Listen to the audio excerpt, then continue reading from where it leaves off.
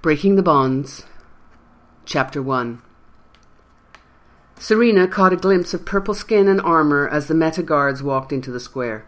Her heart skipped a beat. In Whitsun, you need to have a performing license, or better not be caught without one. Run, she hissed at Mickle as the guards turned towards their audience. Mickle nodded and tucked the final spinning knife back into its sheath. Their juggling act was over. Pouring the coins from the hat into his pocket, he gave her a push. Left, towards the pumpkin cart. She flashed a smile at the remaining patrons. Until we meet again, she said, then spun away in a flash of coloured skirts, following Mickle through the gap made as the crowd shifted. The market was in full swing. Carts of produce, housewares, and trinkets lined the outer edges of the town square and formed four, more or less, straight lines in the centre. Serena risked a glance over her shoulder.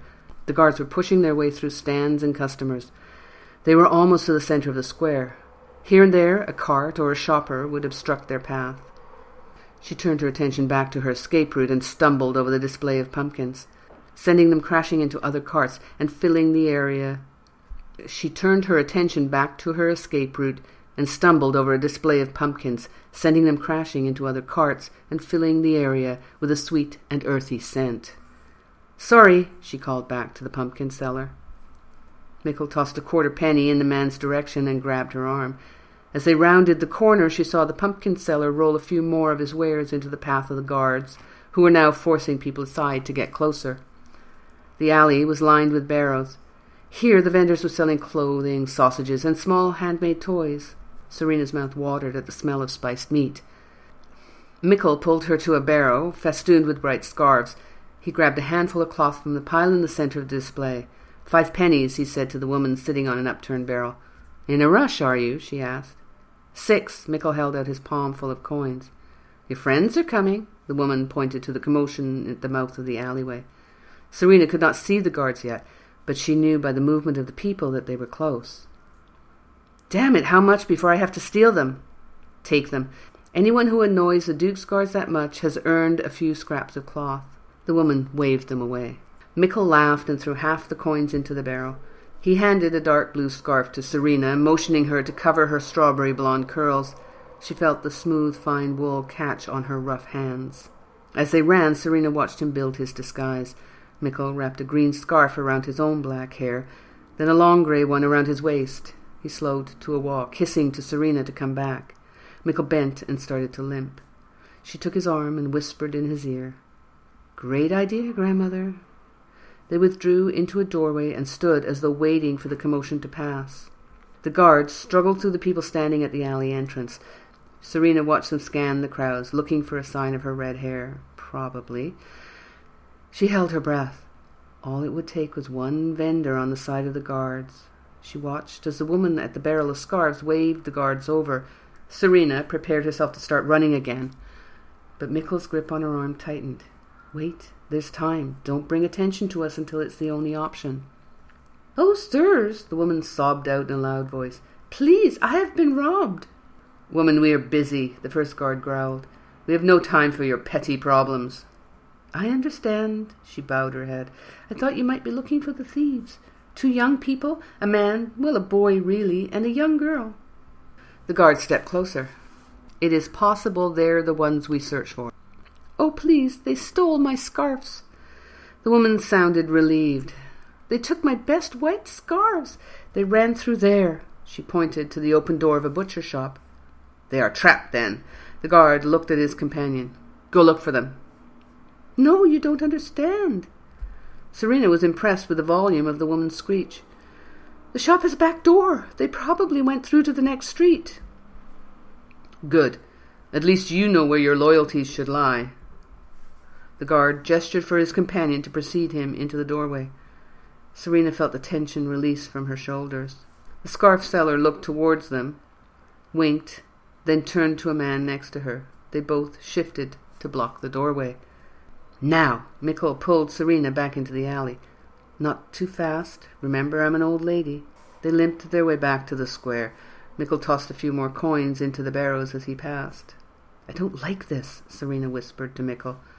Can't we go faster? What if someone calls the guards back? No, Don't break the disguise, Mickle muttered, tightening his grip on her arm. If there's a snitch in the crowd, they would have said something already.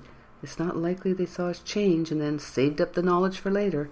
If they wanted to benefit, they would have spoken up right away. She tried to dismiss the feeling of eyes crawling across her back. Okay, I suppose. Let's just get through this and collect our stuff from the inn. We need to get out of town, right? Let's sit for a minute, my dear, Mickle said, in a high, quavery voice. Here we can have a cup of tea and rest. Are you serious? Serena asked under her breath as Mickle lowered himself slowly onto the chair. I need to catch my breath, dear. I'm not as young as I was, Mickle responded. He stared at her and then whispered, An old lady wouldn't be able to cross the square without resting. I'll get us a pot of tea. Serena patted his hand and looked up for a waiter. Mickle placed a halfpenny on the table and whispered, That's the last of the money we earned today. We won't be able to pay the bill at the inn. Serena ordered tea from a bored waiter and then sat beside Mickle. Let's hope the next town isn't crawling with guards. She looked around the square. The merchants were calling their wares, all evidence of the recent disruption gone. She thought back to her life a year ago. She would have been one of the vendors, standing beside her father as he sold the leatherware they'd created over the previous month. If he hadn't tried to marry her off to Oisin van Malek, she would never have run away. Of course, if she hadn't run away, she would never have met Mickle and the last year of living the life of a roving entertainer would never have happened. She knew everyone thought they were lovers, but neither of them felt that way. Mickle said his heart was with someone else, and she knew she wasn't ready for anything serious.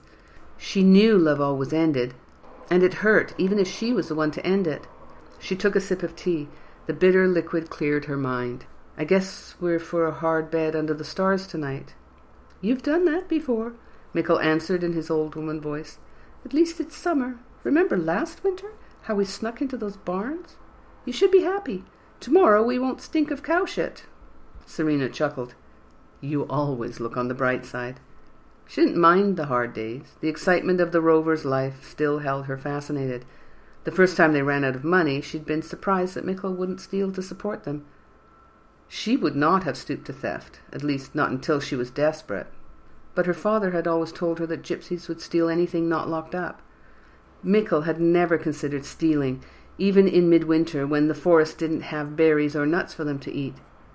He said Duke Tarash stole enough of the people's hard work, so he wouldn't add to the misery. She knew if they had to leave the inn without paying, Mickle would send the money when they earned it. Trouble never lasts, Mickle muttered through the steam rising from his cup. No point in giving it life by talking about it. Look! She released her little finger from the cup to point. They're back. The guards stomped into the square. They scanned the crowd and then took up posts again on either side of the main entrance. Hmm, looks like they've lost interest. Mickle placed his empty cup on the table. Drink up, my dear, he said louder. We should be getting back to the inn and your father. Serena swallowed the last drops of her tea and stood, offering her hand to assist the old woman to her feet. Yes, Grandma, she said meekly. They shuffled to the alley leading to their inn. Serena tried not to look toward the guards, tried not to bring their attention. From the corner of her eye, she saw the closest guard glance at them and then dismiss them. She bent as if to say something to her grandmother, but simply patted Mickle's arm. As she straightened, she noticed a tall man, tall and thin, the hood of his brown cloak pulled down, shading his face. He looked away as soon as their eyes met.